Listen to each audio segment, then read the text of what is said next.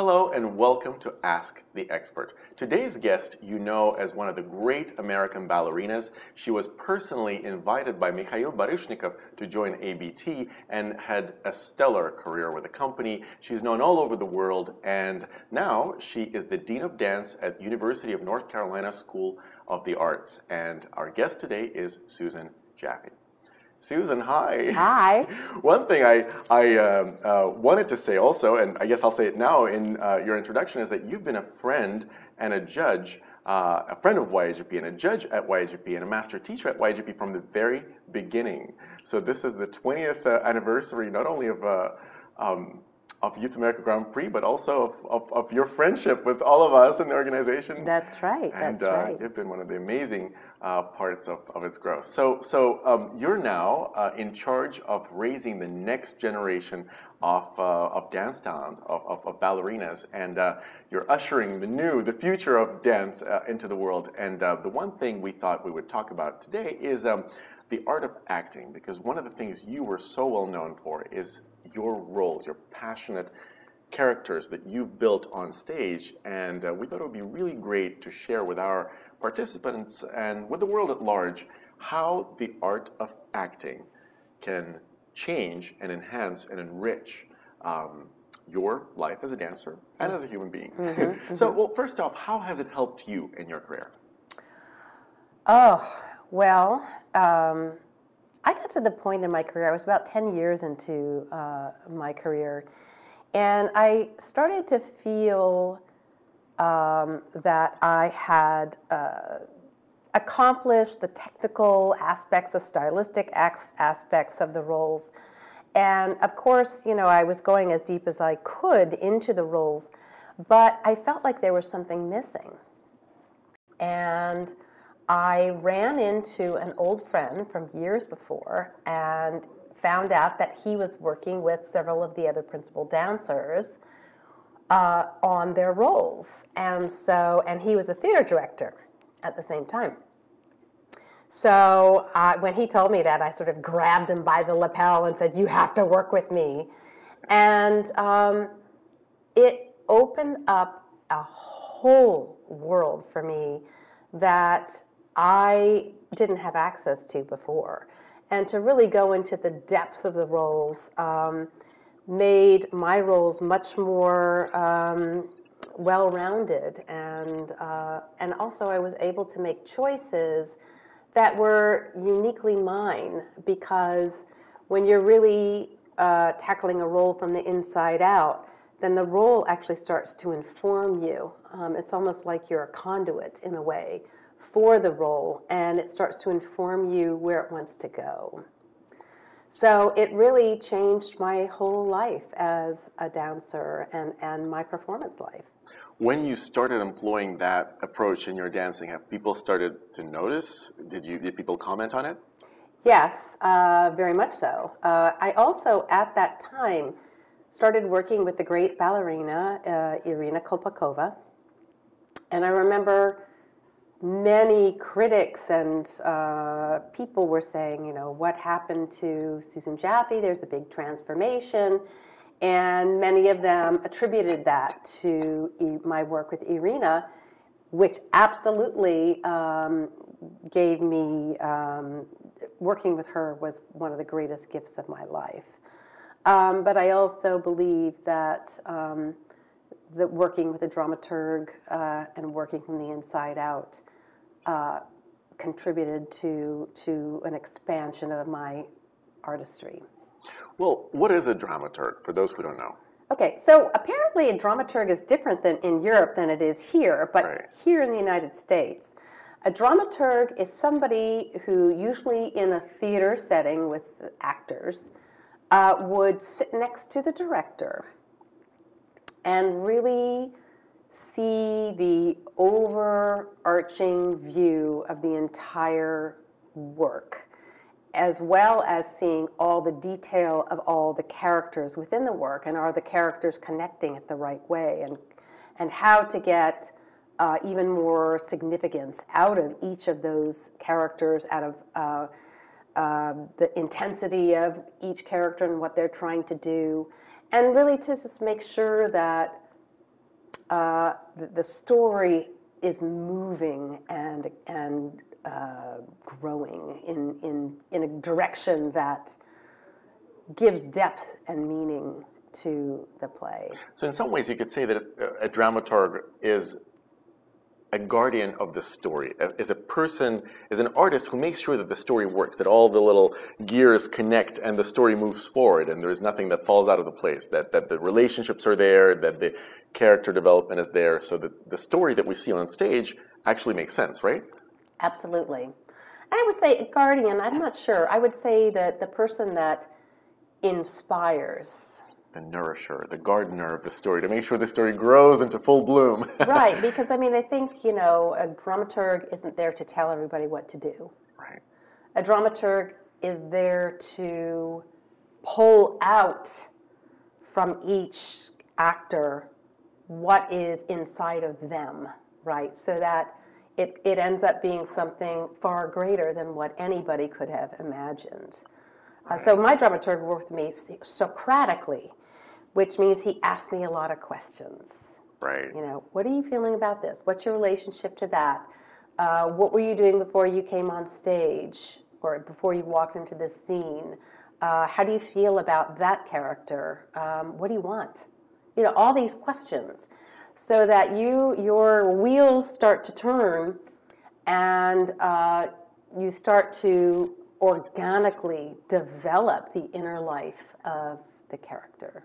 This is very important what you're saying because I think one important mm-hmm. distinction we must make right away is how do we define acting? Because what you're mm-hmm. saying, what you're talking about is real life.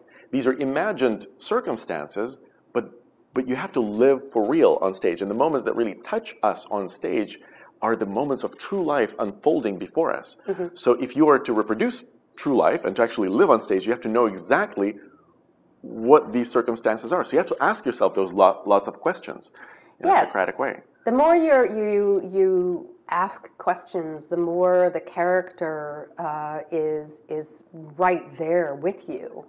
And uh, even when I was in you inside, yeah. Even as I was doing um, the role of Lizzie Borden, who's an ex murderess, right. you know, by the time I had studied and started rehearsing and was ready for the stage, I really felt exactly and knew exactly why this person had killed her parents. You know, so you you're getting into the psyche of, of a character. And characters, you know, why are characters or why are, are ballets great? Because there are archetypal themes, there are symbolic themes, there are themes that make humanity who we are. And that's why they touch us so deeply. So that's why it's so important to be truthful uh, with who you are inside, living through this character. Right, because if it's not, if you're not truthful, it's immediately you can see it. You spot a fake, and and by fake I mean um, something. We say either something touches you or doesn't. So usually, truth and real life touches us. Real emotion touches us. You know, and if it's not real, if you're just portraying it, then it's you know. That's true, and and also um, sometimes I would watch dancers who I knew hadn't done the work, hadn't really done the work because they would do what I call sort of pat uh, pat characters, sort of. This is what we're all expecting this character to do, and therefore they're doing it. You know, and if it's really real, um, it, it's unique. And as you said, it's moving through you. And so you can't always know what your character, if you're really inside your character, what it is going, how he or she is going to react at that moment. Right? So you are you are there with the reactions and responses and uh, desires and all of those things. So that's how um, it, it, builds depth and meaning uh, rather than already going on stage and knowing, well, this is who I am, this is what I'm going to do, and that's my partner, and all of those things. None of those really exist. I remember when I was about to go on stage and do Manon. and a very great ballerina was watching the performance in the audience, and she came backstage to wish me good luck. And um, she said before I went on um, something about remember to be sexy or something like that. And, you know, I was so inside the character that that made absolutely no sense to me whatsoever. Right. And I remember just kind of steaming up, and my dresser took this ballerina and said, "Let's go," you know, and, you know, just got her away from me because if you were, were coming into, into my sphere and telling me how I was supposed to behave in, in a character, that was sacrilegious to me. That was not where I was coming from. I was a conduit. I was ready. I was in that moment, and I had no preconceived ideas about what it was going to be. I just knew who Manon was. So this is very important what you're saying because what you're saying is that you have to do the preparation, you have to study the character, what happened to them before, what led them to being the way they are, what happened before the scene. You have to pump yourself up with all those circumstances. But once you do, you let go and you react in real life and in real moment to what's happening. That's so it's right. kind of like so you don't know what's going to happen before it happens. Otherwise, it looks predictable and fake. Again, you know, There you go. fake meaning not real life like because in real life we don't know what happens the next moment. We never do. No, we even never if we do. plan it out. even if we plan it out. In fact, it never happens how we plan. It's, So. it's, it's so interesting because really um, the study of theater has always captured my imagination and, and my heart and my soul because it really isn't an art about something else other than life. It's a study of life. Yeah. And so when we talk about theater and the art of acting, we're talking about the art of being truthful, real, and alive Mm-hmm. in the moment. That's right. This is this is so great. So, um, uh, talk a little bit more about uh, how do you prepare a role, just in, in practical terms. So, so you were lucky enough to work with a dramaturg um, who helped you do the work. Uh, maybe some younger dancers or just dancers out there don't have that luxury. How can they be their own dramaturg? What are some of the steps they can make to prepare for the role? Um, so first, uh, you either, if there's a book, a novel attached to whatever you are doing, like Romeo and Juliet, you would read the book, you would watch the play and watch the movie, you would um, study some of the characters of the movie actresses that did that role, and then you would study the era in which this character grew up and the customs of the time. And why, uh, for example, in Romeo and Juliet, why would it be such a uh, fatal flaw to fall in love with a quote unquote enemy? And what did that mean at that time uh, in that era? And also how beholden you are to your parents. I mean, there it's life was so different than it is now. Um, so that's that helps to build your intensity and um, your um, the drive to try to to do what you passionately feel. So you would you would do all that studying and then breaking it down scene by scene. You would also know who your other people on stage are. Who is Tybalt? Who is your your mother? Who is your father? What relationship do you have with your mother that's different than your father? What relationship do you have with Tybalt and Paris and your friends and all of the characters and your nurse? Right? So you would, according to whoever walks in the room or whoever you're interacting with, you have a different relationship with them. So um, you would definitely have to know who they are. It's not only all about you, it is who are you interacting with. So that way, you're really developing a whole inner life, a whole world um, that feels real for you. And also, uh, so that would be pr- to prepare for a role, but preparing for a role also happens in rehearsal. And there are a couple of tricks um, that I uh, used a lot, and also when I'm coaching uh, in a, a, way of being a dramaturg. Um, I would say don't anticipate. So if you're in rehearsal and you know that your mother is going to come in and you know you're going to run to her, oftentimes, especially younger dancers, make the mistake of knowing that that character is coming in and before you even recognize who they are or what's happening, you're already running towards them. So you're anticipating the scene instead of somebody comes in. Now, in real life, somebody would come in, you would hear them right? You would hear somebody come in, you might even recognize who they are, and you would react before turning. So that would be called in acting a pickup. You'd react and then turn instead of turn and go. So there are um, ways that you can stay present in the moment and make sure that you are not uh, ahead of yourself uh, in each individual scene because the character doesn't know who's going to walk into the room. somebody might come know. come in trying to kill you. Somebody come in uh, come in try to you know exactly. be a lover. I don't know whatever. Exactly. So y- until you turn, you don't know who it is. So don't know who it is exactly before you actually find out exactly on stage before our exactly. eyes. and entrances and exits are very important. Mm. Where were you before you walked in to this room? What do you want? What do you need? Why uh, do you walk in? You know. Yeah why are you there? What brings you into that space? So it's not it's not um, good to be standing on the side, chat, chat, chat, ha ha ha ha, and then go on stage because you're not inside the character, you know. And I used to get um, very cross with.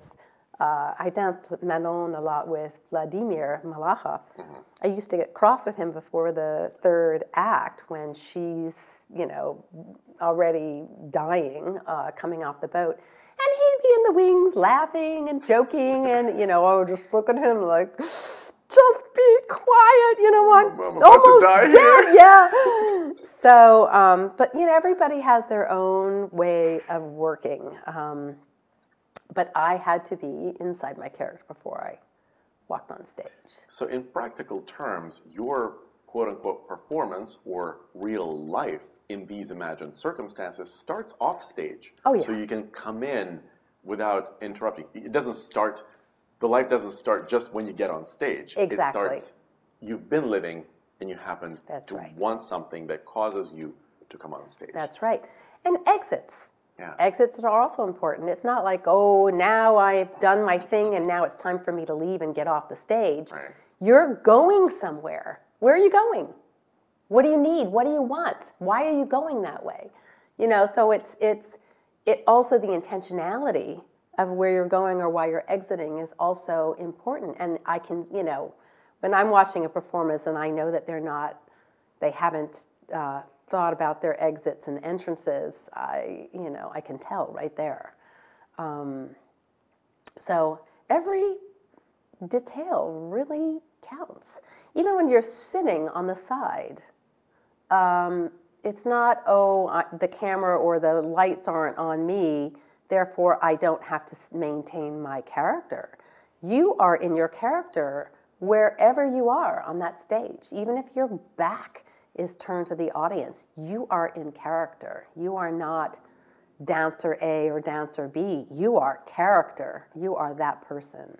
Well, that that's truly the difference between like just basically an athlete standing on stage and performing body movements versus a living person who is living and, and we're there to observe. That's the difference. Exactly. Because in that sense, we were just uh, uh, before talking about the eyes and how the eyes reflect, how the inner work, even if you're not dancing or moving, just by the way you look, there, there's a difference if you if you're looking as someone in love, or as, if you're looking as someone who's about to kill somebody, yeah. or if you're looking as someone who's just been heartbroken. You yes. know, there are different ways. It, it all shows in the eyes, oh, even oh, yeah. from the back of the theater. It shows in the eyes. It shows in the energy. Right. It shows. It is. It is something that we don't necessarily see with our eyes, but that we feel. Yes. In our energy. Yes, because we, we, we come to the theater because otherwise we, would watch movies, right? Like we come to live theater to feel the energy coming That's off right. the stage. That's right. And that's what, you know, as I'm thinking about it, that's what makes the difference between a great performance and a mediocre performance. That's right. After a great performance, you come out charged. What is it that you're charged with? You're charged with the energy that the dancers, That's the right. artists gave you, Yeah. projected. Yeah. And- you and- were moved at a Yeah. deep level. Yeah. Yeah. Well, uh, this is this is great because I think it is going to help a lot of uh, dancers, especially those who are starting out, because they're so focused on the technique, on the turnout, and, or, or- and, and every day that's what they spend the majority of their time working on. Mm-hmm. But all of that is just athleticism without the inner life that you're bringing to life Yeah. through dance. Yeah. That makes the difference between a regular dancer and a great dancer. Yes. That and musicality, obviously, and um, uh, your ability to to move and breathe with your partner and the people around you, right? So you have to be extremely sensitive to everybody else on stage and the music.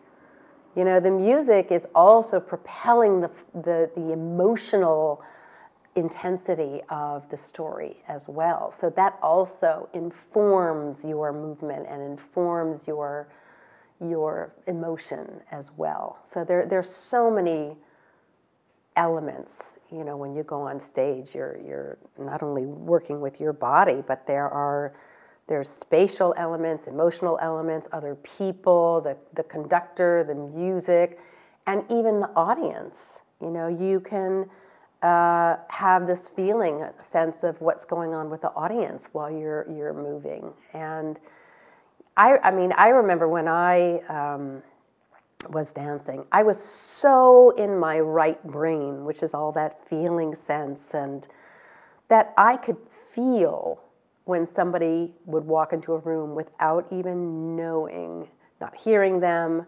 I could feel people with my back. You know, we're just we're just these feeling beings. Um, So how do you develop that sensitivity? Because um, you know, again, for, for a young person studying dance, they, they listen to you talk about this and they go, "Great, I want that sensitivity. I want to develop this in myself. I want to take my dancing to the next level." Is there any practical advice on how to do that? How to increase that sensitivity? Well, I mean, I was and still am um, uh, practice. Uh, what's the word? Uh, I practice meditation, and meditation for me was very important because when you go into the alpha brainwave state, which is the bridge between your subconscious and your conscious mind, that's where you have connection to all the juices of your creativity and of, of things that you can't access if you're just sort of in your daily life. So the more uh, you can uh, get into those deeper creative juices, uh, and plus, meditation helps with stress levels, anxiety, and all of those things. The more sort of grounded you are in your foundation, and also the more you know yourself. The more you know yourself, the more you can use your instrument to much more a much more expanded experience than you could if you're just sort of um, trying to access your creative experience just by thinking about it. You can't really get there. So, in practical terms, for younger persons, you know, for, so um, for somebody who or for somebody who doesn't have an experience, uh, is not an experienced meditator, uh, what might a meditation look like for, say, a 13-year-old ballerina, uh, if she wants to follow your advice and she wants to really, or a 15-year-old, doesn't matter, you know, a young person, how could they meditate? What would be like some practical sample meditation for them? Uh, well, funny you should ask that because I actually created a course uh, for dancers, Right? which I did last summer um, at Orlando Ballet School and at um, the University of North Carolina School of the Arts. And it is really about how to get yourself into those states. And I, within the course, uh, I've got five different meditations. And really, um, without even any sort of um, formal training, just sitting uh, and breathing and just connecting to the breath, sitting straight and, and connecting to the breath and really staying present with your breath is one of the best things you can do. Five minutes a day, literally five minutes a day. And just that connecting with the breath is called mindfulness meditation.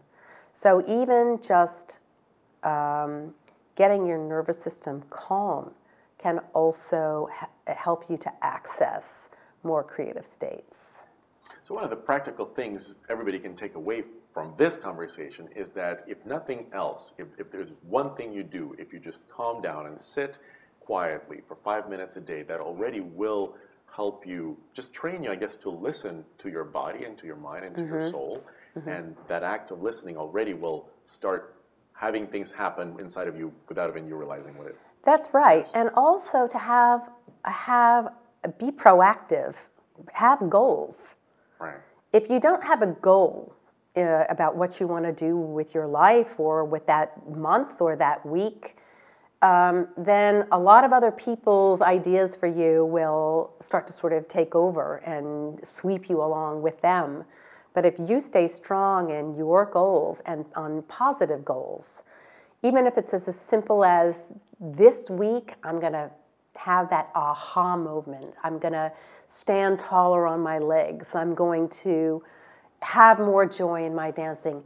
Anything that gets you off the negative and focus on the positive will already uh, calm your nervous system down and, and help you to access more creative states. That intentionality, again, both in character and in life, definitely helps. Uh, let's just, as an example, because I'm, I'm, I'm, always drawn to practical examples that help people. So a lot of variations, well, one variation that you did, which was amazing uh, to watch, was Kitri. And that's also a lot of dancers come to YAGP with the Kitri variation. So could you just kind of run through how your approach, you know, your acting approach, uh, might help a dancer preparing uh, a Kitri variation? So let's take the third act variation, and that's the one with the fan. The one that everybody does. the one that everybody does, and it's so fun. It's so fun to watch, and it's so fun to do.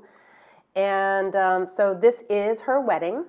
She has figured out how to get her man, who was a little, his eye uh, had a tendency to wander, mm-hmm. and you get to know that in the first in the first act. Um, she is quite a rebellious young woman. Her father wanted her to marry a very wealthy man, but to her, he was just, you know, the village idiot. And she was in love with a barber who had no money. Uh, but love prevailed. And throughout the entire uh, three acts, she is, is constantly um, rebelling and also meets Don Quixote. And Don Quixote is, uh, as we know, and I'm not going to go into great detail about his character, but uh, within the ballet, he's this tall, very elegant man. He chases his dream, uh, who is Dulcinea, and Kitri looks like Dulcinea. And whenever he comes across Kitri, he treats her like a queen. And he's so elegant, and he's from the old world. And somehow that that that sort of gives her a deeper sense of confidence. And she keeps saying to ba- Basil, her boyfriend, "Look, you know, look how I. This is how you treat a woman, you mm-hmm. know." And so through Don Quixote, she's teaching Basil how to treat her. Right. And she gives uh, her boyfriend a very, very hard time, and her father, who is constantly trying to chase her to get her to marry uh, what she thinks of as the village idiot, even though he's a wealthy man. So by the time she gets into her third act variation, this is a huge celebration. This is success. This is everything that she's wanted.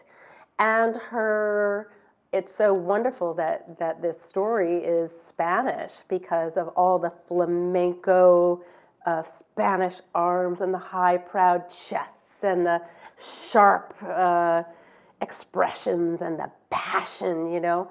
So all of that is is uh, on top of the ballet technique. So that also is very helpful for her character. And by the time she gets to the third act, this is the celebration of her womanhood. She has she was a girl and now she's getting married and she is a woman and she's prevailed against all of it. Against everything that anybody wanted her to do, she has prevailed. So it's a celebration of who she is as a woman and also of her love for her man. And so there's there's a lot of very strong and a little saucy mm-hmm. uh, kind of movement, and um, and this this celebration uh, of of who she is, and um, the fan really helps because she can have a lot of sort of sharp movements with that, or she can have soft movements with that, and and she shows the whole of a woman. You know, the woman doesn't isn't always shy or demure. She can also be very strong at the same time. So uh, she's all of it. She's the big picture, and I think if anybody doing that variation can sort of think about who Kitri is by the time she gets out there in that third act variation, it, they'll be doing themselves a favor um, and having a, a more in-depth character. So, of all that we've discussed, what would be your best advice? I would say the most important thing is to believe what you're doing. Right. If you don't believe, no matter how much deep detail and work that you do, if you don't personally connect to it, throw it out. Go with what your intuition, what your feeling says because the, the more connected you are to your own feeling and your own truth, the more the character will actually be revealed to you, open up to you, coming through you, coming through your heart and your soul. That's the most important thing to not superimpose what others think you should be doing, but to actually feel it from the inside out and believe. If you can believe, everybody else comes along with you. Right. So, so, so if, if you're celebrating a womanhood, then you should truly celebrate it, and then we'll all be along for the ride. Absolutely, and, and who Kitri is, you know, and all her relationships and all of her future possibilities and all those things. So. So we ask all of our guests to think about themselves when they were teenagers, and I'm sure you've learned something from a life well lived in the world of dance uh, that you wish you knew as a teenage person. So you now have a chance to travel back in time and address the teenage Susan Jaffe. Mm. so this, this camera right here is the teenage Susan Jaffe. So you have a chance to mm-hmm. say to that 17, 15, 13 year old something you wish she'd known. Yeah. What would it be? You wasted so much time being down on yourself. And that was a big waste of your energy. If you had just been able to uh, concentrate on the positive more often, I think you would have been a lot happier and freer when you were younger instead of having to go through so much angst and uh, drama. Because um, as you get older, a lot of that drama sort of leaves you because you realize it's just a big waste of time. So that's what I would tell you if I were looking at you right now at the age of 17. Our guest today was great American ballerina and currently the Dean of Dance at the University of North Carolina School of the Arts, Susan Jaffe. I'm Sergey Gordeev, and we'll see you next time on Ask the Expert.